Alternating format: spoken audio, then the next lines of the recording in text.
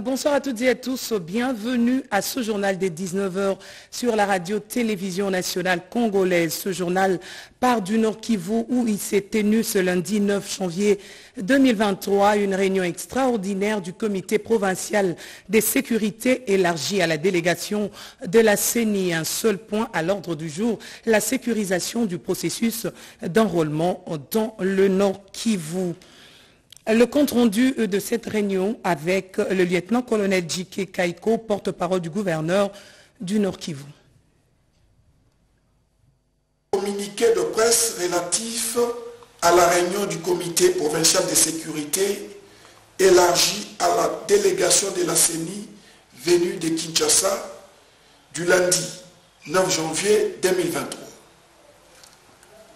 Il s'est tenu ce lundi 9 janvier 2023, dans la salle de réunion du gouvernement des provinces, sous la présidence de son Excellence, Monsieur le gouverneur militaire, le lieutenant général Dima Komba Constant, une réunion extraordinaire du comité provincial de sécurité élargie à la délégation de la CENI venue de Kinshasa avec à sa tête le docteur Manara Linga Didi, deuxième vice-président un seul point était inscrit à l'ordre du jour, à savoir la sécurisation du processus d'enrôlement des électeurs en province du Nord Kivu.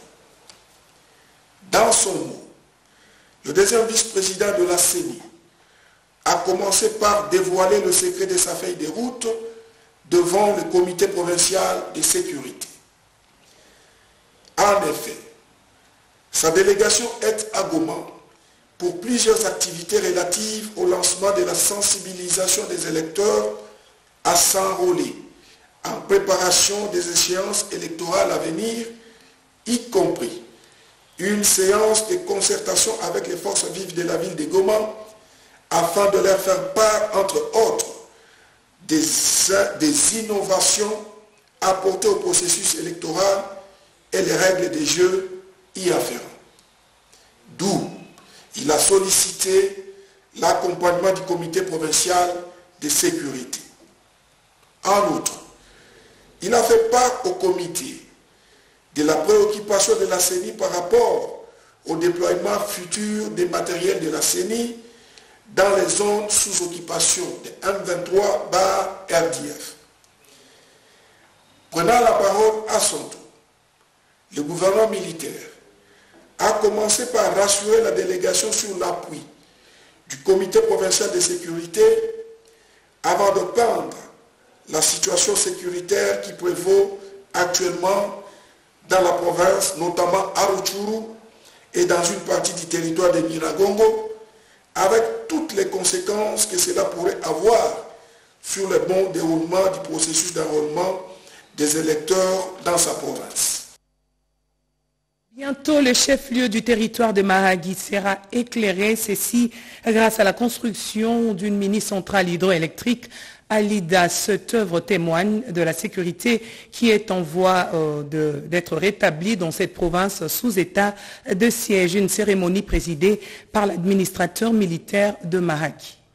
Deux certes en énergie électrique figurent parmi le programme de développement du chef de l'État Félix Antoine Tshisekedi Chulombo, voire dans les Congo profond, s'appropriant cette vision du président de la République avec la paix imposée par l'administration militaire de l'Ituri, un jeune entrepreneur, l'ingénieur Moïse Unenchan, initie un projet d'éclairer le chef-lieu du territoire de Mahagi, situé à environ 180 km de Bounia, à la frontière avec l'Ouganda. La cérémonie de la pose de la première pierre de construction d'une mini-centrale hydroélectrique sur la rivière Lida à Ilié le week-end dernier, sous la présidence de l'administrateur militaire de ce territoire, le colonel Jacques Dissanoa. Ce dernier encourage cette initiative bénéfique pour la population et promet son accompagnement. je suis très heureux d'être ici. Nous sommes dans l'action. Cela veut dire que nous allons poser cette première pierre maintenant et ici.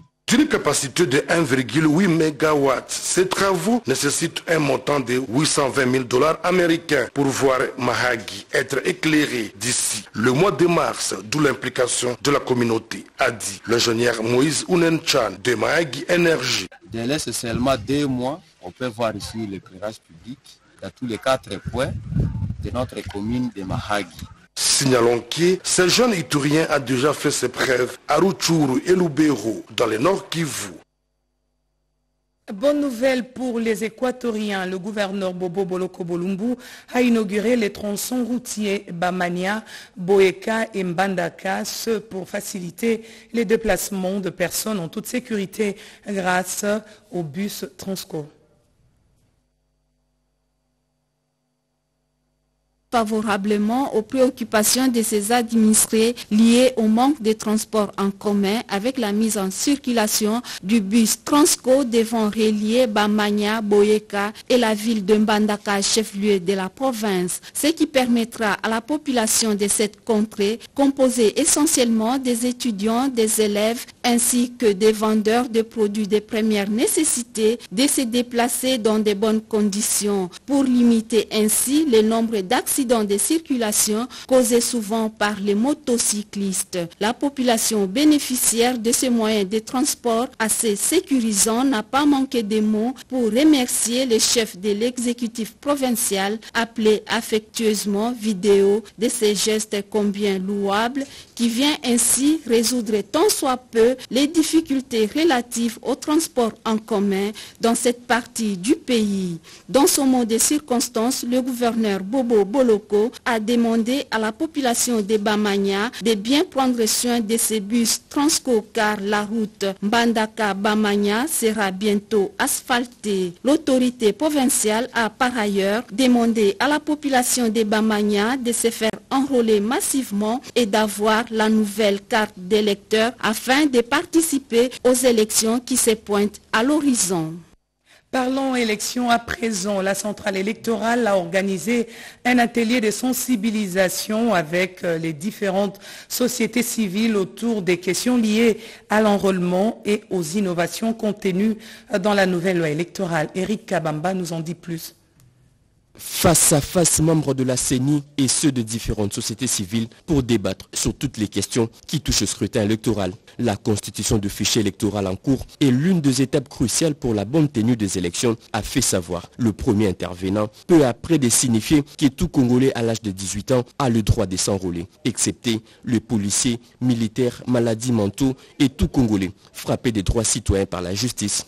Nous les avons édifiés et nous sommes arrivés à bon port. Maintenant, c'est à eux d'aller expliciter, donner beaucoup d'explications à leurs membres qui restent afin que tout le monde puisse aller s'enrôler et avoir leur carte d'électeur. Tout parti politique qui aligne sur sa liste de candidats 50% des femmes est automatiquement exempté des cautions. C'est l'une de 21 innovations contenues dans l'actuelle loi électorale révisée. Pour avoir des dirigeants en République démocratique du Congo, les principes voudraient que euh, les dirigeants soient élus, soient votés par la population.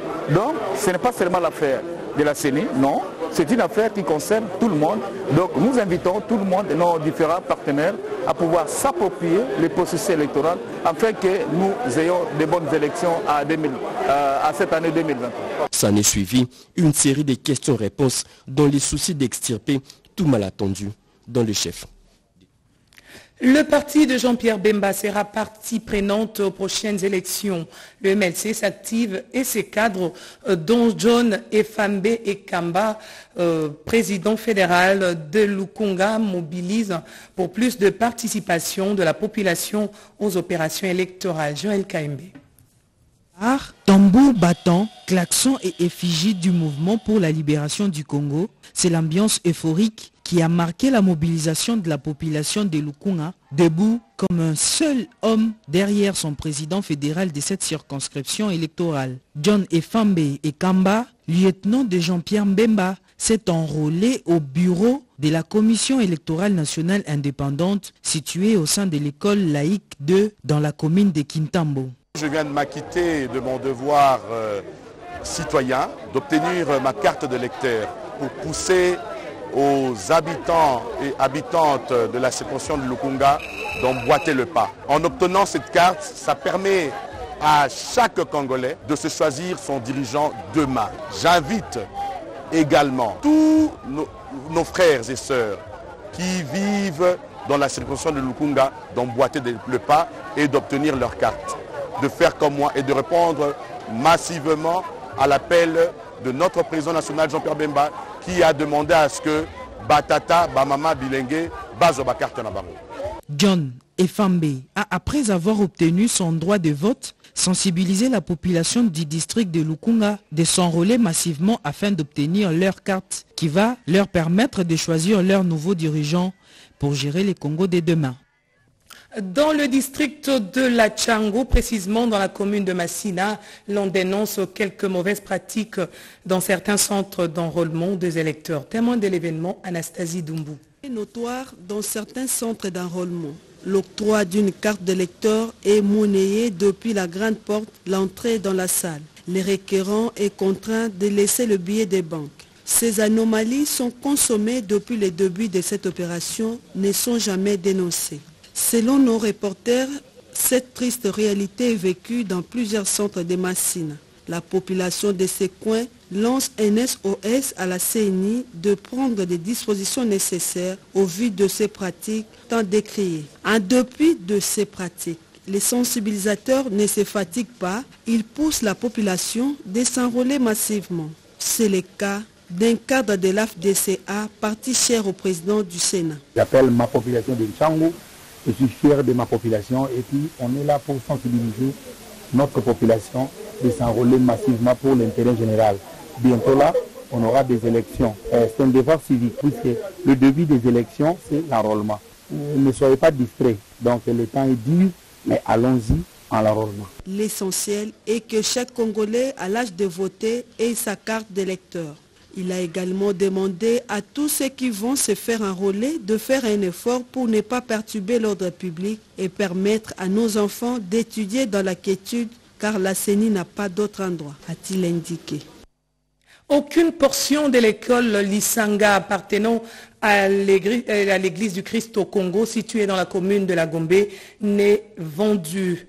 Les parents d'élèves inquiets de cette situation doivent s'apaiser. Une déclaration du président national de la jeunesse, Willy Massaka autour de la vente d'une portion de l'école Lisanga appartenant à l'église du Christ au Congo dans la commune de la Gombe n'était que pure spéculation. La vérité a fini par être établie très certainement au grand apaisement de parents. Un réaménagement de sa concession sans effet sur les bâtiments de l'école. L'église a pris des engagements pour une servitude de passage avec un partenaire. La confirmation est du président national de la jeunesse du Christ au Congo au sortir d'une réunion avec l'avocat conseil de l'ECC, les Kaba du président national de l'ECC, ainsi que les présidents des différentes communautés de l'Église du Christ au Congo. La concession de l'Église dont l'école bénéficie, qui est aussi l'école de l'Église, n'est pas vendue.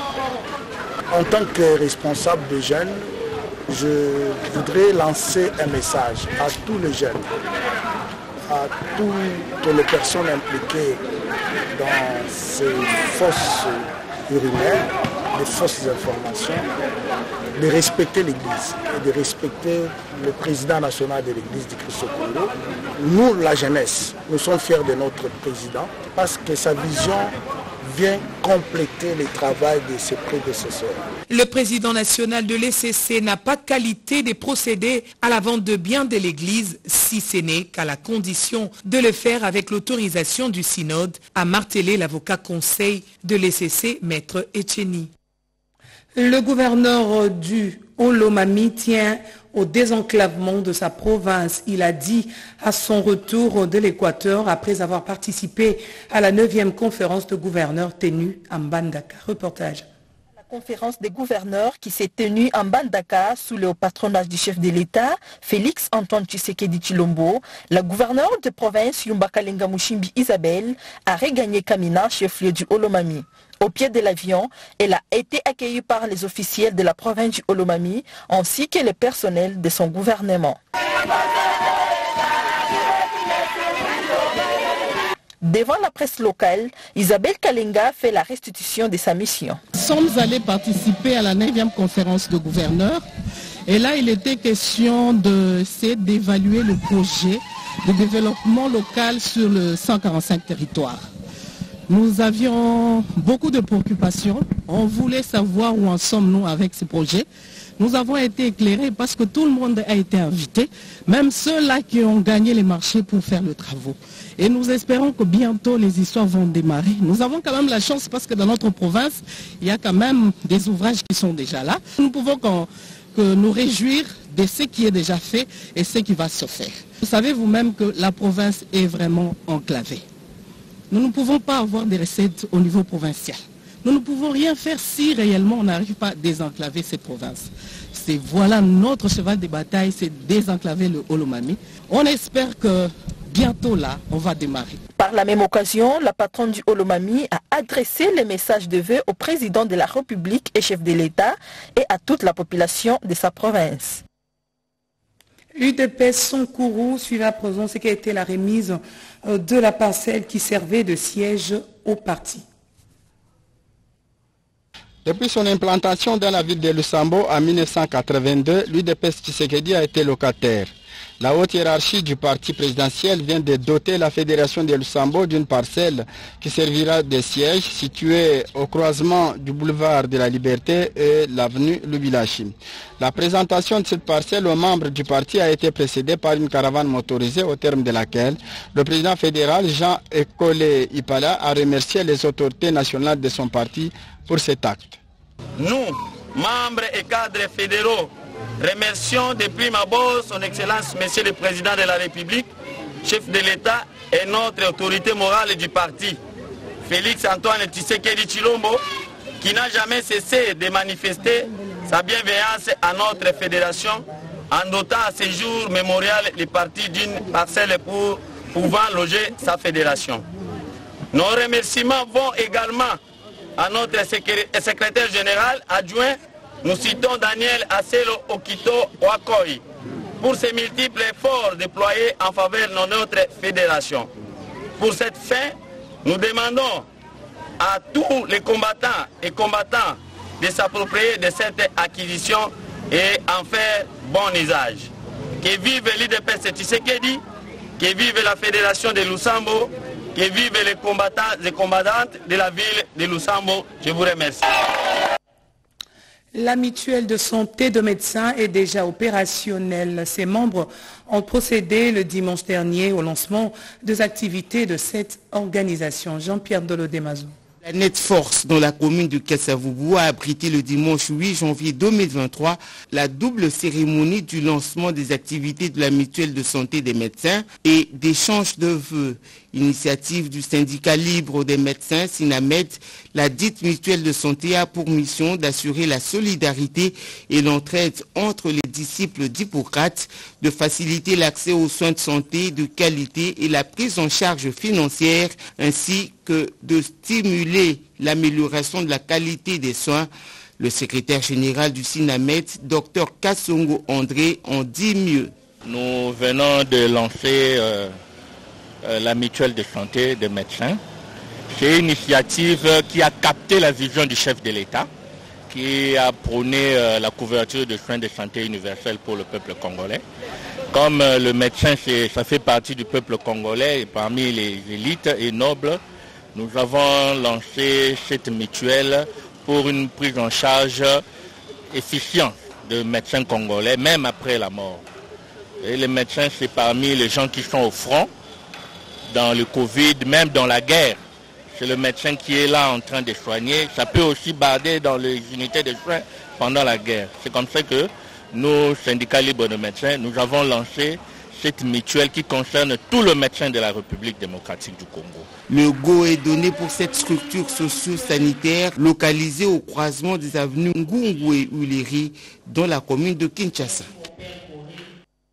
C'en est fini, Madame, Monsieur, pour 19h, mais tout de suite après, vous suivrez les briefings euh, du nonce apostolique euh, qui vient confirmer l'arrivée du pape en République démocratique du Congo. Encore une fois de plus, merci et excellente suite de programme à toutes et à tous.